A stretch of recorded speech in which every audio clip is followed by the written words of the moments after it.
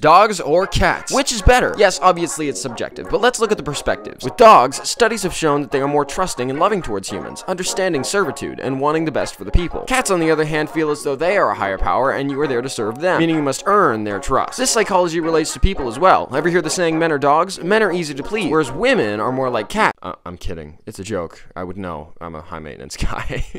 Although dogs are better. But let me know in the comments if you would choose